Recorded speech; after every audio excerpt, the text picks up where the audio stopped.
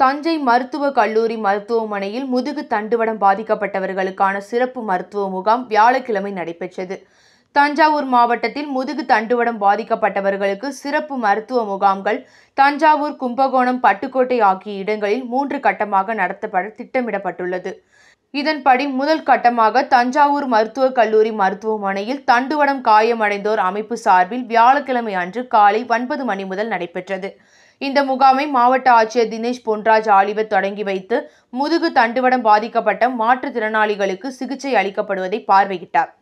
இந்த சிறப்பு மருத்துவ முகாமில் சிறுநீர்ப்பை பாதிப்பு தொடர்பான நவீன சிகிச்சை இரத்த வகை கண்டறிதல் கண் மற்றும் பல் பரிசோதனை உள்ளிட்ட சிகிச்சைகளும் அளிக்கப்பட்டன. படுக்கை புண்ணால் பாதிக்கப்பட்ட இரண்டு பேர் உடனடியாக சிகிச்சைக்காக சேர்க்கப்பட்டனர். மேலும் மூன்று பேருக்கு தேசிய மாற்றுத்திறனாளிகளுக்கான அடையாள அட்டை வழங்கப்பட்டது. எலும்பு முறிவு சிகிச்சை மூளை நரம்பியல் மருத்துவம் மற்றும் மூளை நரம்பியல் அறுவை சிகிச்சை ஆகியவற்றிற்கு சிறப்பு நிபுணர்கள் சிகிச்சை அளித்தனர். மேலும் தகுந்த ஆலோசகர்களால் மறுவாழ்வு குறித்த ஆலோசனைகளும் வழங்கப்பட்டது. இதன் மூலம் சுமார் நாற்பது பேர் பயனடைந்தனர்.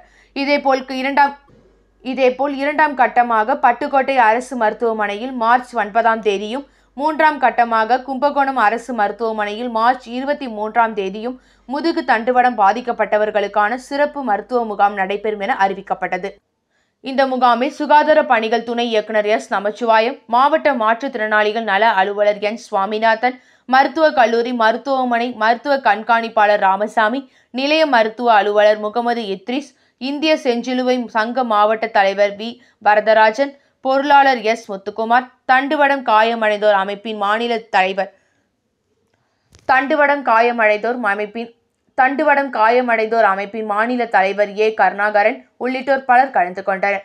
முன்னதாக தண்டுவடம் காயமடைந்தோர் அமைப்பின் மாவட்ட தலைவர் சி. ஜெயராஜ் வரவேற்றார். நிறைவாக மாவட்ட ஒருங்கிணைப்பாளர் எஸ். சக்திவேல் நன்றி கூறினார்.